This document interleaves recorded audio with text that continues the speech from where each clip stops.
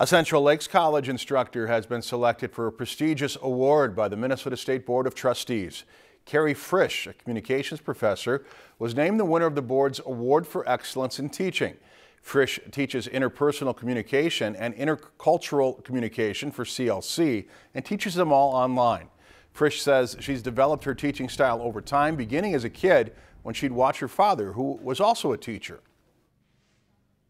But my dad especially, I think, is somebody that I consider a true hero and an education hero. Um, and I think that I learned a lot watching him and as a student here seeing the values that he portrayed in the classroom echoed by his colleagues. Um, they weren't just teachers. They were lifelong learners themselves, and they made sure that they instilled that in the students that they taught. And so I think that's really important too, is that not only do I teach, but I continue to learn myself. So I hope that my students get the same thing from my classes.